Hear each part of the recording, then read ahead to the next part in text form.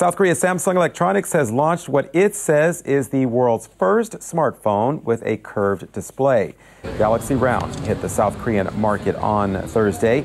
Plastic is used instead of glass to form the concave display. Tilting the device on a flat surface will enable users to check various types of information, such as missed calls. Samsung executives say the firm will apply this technology to develop new smartphone models, including wearable ones.